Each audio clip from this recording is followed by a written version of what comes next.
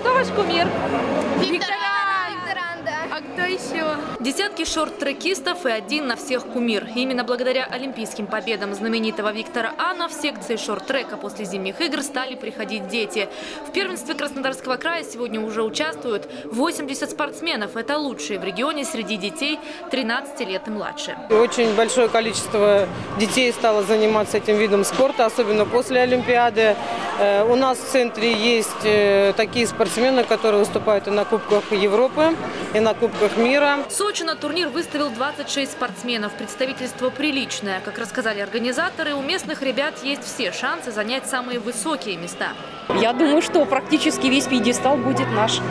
Потому что шорт-трек э, во всем Краснодарском крае, ну, наверное, вот в городе Сочи развивается лучше всего, конечно. Отдельные дистанции, многоборье и эстафеты. Такова программа первенства Кубани. Несмотря на юный возраст, на льду начинающие шорт-трекисты показали настоящую борьбу. Ведь на кону не только медали турнира. Это у нас один из этапов отбора спортивной нашей команды, сборной Краснодарского края, которая будет участвовать в зональном первенстве перс- э, России.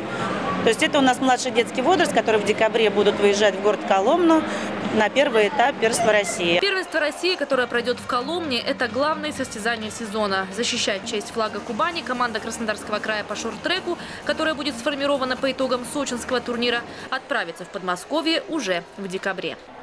Ольга Десятого, Николай Тихонов, телекомпания ФКТ.